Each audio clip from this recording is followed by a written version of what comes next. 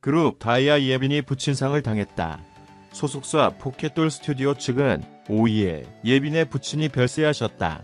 현재 예빈은 가족과 함께 빈소를 지키고 있다고 밝혔다. 이어 코로나19로 인해 유족의 뜻에 따라 장례는 가족 친지분들과 함께 조용히 치르려고 한다며 가족들이 고인을 애도할 수 있도록 배려 부탁드린다고 덧붙였다.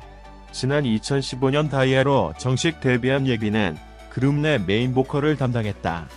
다이아 앨범 수록곡 작사 작곡에도 참여하며 음악적 역량을 펼쳤다. 지난달 첫 솔로곡 Yes, I Know, Yes, I Know를 발매했다. 이하 포켓돌 스튜디오 공식 입장. 안녕하세요. 포켓돌 스튜디오입니다. 다이아 멤버 예빈 양의 부친이 별세하셨습니다. 현재 예빈은 가족과 함께 빈소를 지키고 있습니다. 코로나19로 인해 유족의 뜻에 따라 장례는 가족, 친지분들과 함께 조용히 치르려고 합니다. 가족들이 고인을 애도할 수 있도록 배려 부탁드립니다.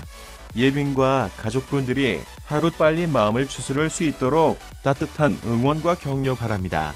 삼가 고인의 명복을 빕니다.